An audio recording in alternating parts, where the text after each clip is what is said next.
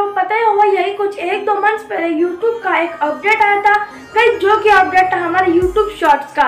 TikTok ban होने के बाद यह अपडेट आ चुका था गाइज़ सो वैसे ये अपडेट आने के बाद मैंने सोचा था कि मेरे चैनल पे भी हमारे व्यूवर्स को शॉर्ट कंटेंट दूँ मतलब शॉर्ट वीडियो डालूँ।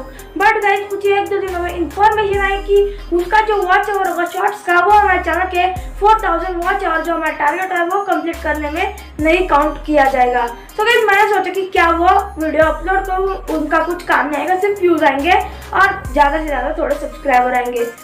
बट गाइज़ एक दो दिन पहले यूट्यूब का एक अपडेट आया गाइज़ जिसमें हमें बताया गया है जो हमारे शॉर्ट्स होंगे यूट्यूब शॉर्ट्स, उनका वॉच और हमारे चैनल के 4000 वॉच और में काउंट होने वाला है। सो गाइज़ सो गाइज़ आपको पता चला, चल ही रहा होगा कि मैं क्या कहना चाहता हूँ।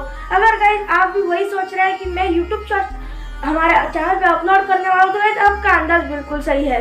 सो so जी हाँ गाइज़ हमारे हमारे चैनल पे थर्सडे को और संडे को यूट्यूब शॉर्ट्स आने वाले हैं। और गाइज़ रेगुलरली ट्यूजडे को और फ्राइडे को हमारे रेगुलर जो वीडियो होते हैं, वो आने वाले हैं। मतलब गाइज़ हमारे ट्यूसडे को, हमारा नॉर्मल वीडियो होगा फ्राइडे को भी नॉर्मल वीडियो होगा, और संडे और थर्सडे को कम टाइम में ज़्यादा इन्फॉर्मेशन हम लोग देने वाले शॉर्ट्स के ज़रिए से। सो so गाइज़ वो उनकी नोटिफिकेशन पाने के लिए हमारे चैनल को सब्सक्राइब कर दीजिए।